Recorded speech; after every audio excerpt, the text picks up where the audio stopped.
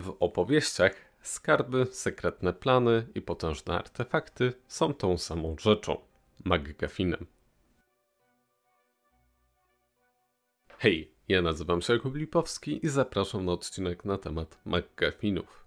Za autora tego terminu uważa się Angusa MacPhaila, ale spopularyzował go reżyser Alfred Hitchcock. Mówił, że w przypadku filmów o szpiegach McGuffin to rzecz, którą ma zdobyć szpieg. W najprostszej wersji McGuffin to przedmiot lub element w historii, który napędza fabułę, ale nie służy żadnemu innemu celowi. Najsłynniejszym i jednym z najstarszych McGuffinów jest arturiański święty Graal. Jego pierwotny kształt jest nie do końca jasny, ale w popkulturze utrwalił się jako kielich dający nieśmiertelność osobie, która z niego wypije. Magiczne właściwości zawdzięcza temu, że została do niego zebrana krew z przebitego boku Jezusa Chrystusa. Jego zdobycie jest celem w filmach takich jak Indiana Jones i Ostatnia Krucjata oraz Monty Python i Święty Graal. Dokładniej przyjrzymy się produkcji Pythonów, ponieważ sami wyśmiewają motyw McGuffina, dzięki temu łatwiej zrozumiemy tą koncepcję. Rycerze Okrągłego Stołu otrzymują misję zdobycia Grala od samego Boga. Problem w tym, że Bóg robi to w bardzo losowym momencie i nie podaje im lokalizacji artefaktu. W wyniku jego poszukiwań rycerze trafiają na masę przygód, ale żadna z nich nie jest związana z Gralem. Ten stanowi jedynie pretekst, aby rycerze wyruszyli na przygodę. Z perspektywy fabuły nie jest ważne, czym jest Graal.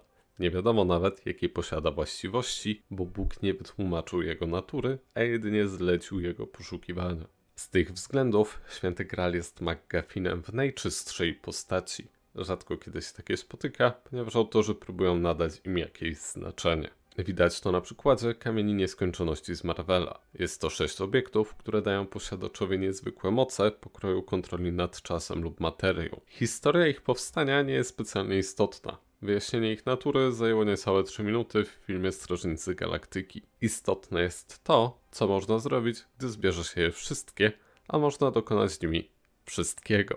Główny antagonista MCU, Thanos, chce je zdobyć, aby usunąć połowę żywych istnień z wszechświata. Dlaczego miałby to zrobić? Bo wierzy, że w ten sposób uratuje wszechświat przed użyciem wszystkich zasobów naturalnych, co później doprowadzi do zagłady całego życia.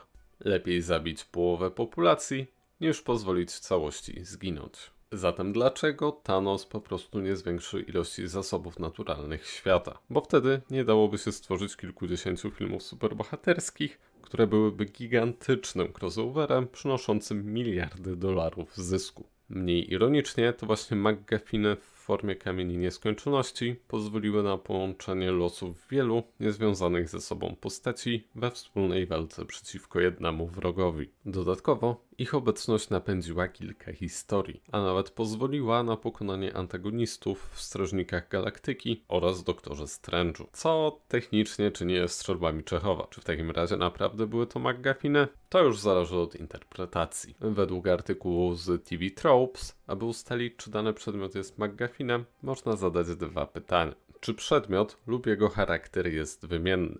Różnice między przedmiotami, takimi jak diament, obraz czy posąg, są niewielkie.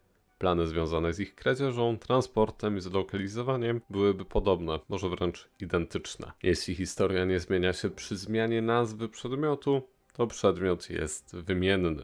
Za przykład weźmy napad na wystawę biżuterii. Gdyby chodziło o kradzież najcenniejszego przedmiotu z wystawy, to nie ma znaczenia, czy jest to pierścionek, naszyjnik czy bransoletka.